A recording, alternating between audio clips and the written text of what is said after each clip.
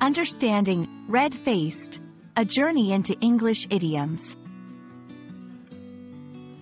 Hello, English enthusiasts. Welcome back to our channel, where we unravel the intriguing world of the English language. Today, we're diving into a fascinating phrase, red-faced. Let's explore its meanings, usage, and the story behind it. Whether you're a language learner or a curious mind, this journey is for you. At its core, red-faced refers to someone's face turning red. This can happen due to various reasons like embarrassment, anger, or even physical exertion. It's a direct observation, where the face visibly reddens due to increased blood flow. This physical reaction is universal, cutting across cultures and languages. In the realm of idiomatic expressions, red-faced takes on a more figurative meaning. It often implies a feeling of embarrassment or shame. For example, if someone makes a mistake in public and feels embarrassed, they might be described as red-faced. This usage captures the emotional state of the person, rather than just their physical appearance. Understanding how red-faced is used in everyday language is crucial. Let's look at some examples.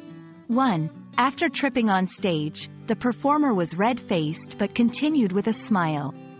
2. He was red-faced with anger when he saw the mess. 3. She felt red-faced when her phone rang loudly during the meeting. In these scenarios, red-faced describes a mix of emotions like embarrassment, anger, or awkwardness.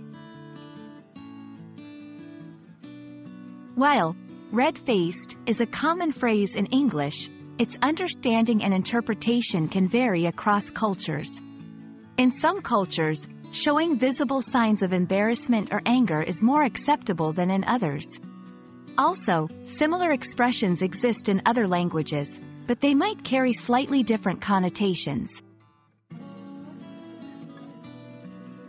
To use red-faced appropriately, context is key. Ensure the situation involves embarrassment, shame, or anger. Tone of voice.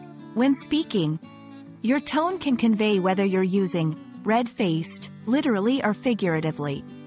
Be sensitive. Remember, describing someone as red-faced might be sensitive, especially if it relates to embarrassment. Red-faced is a colorful expression that adds depth to the English language, capturing a range of human emotions and physical reactions. We hope this video has shed light on its usage and meanings. Keep exploring and embracing the richness of English idioms, and as always, stay curious. See you in the next video.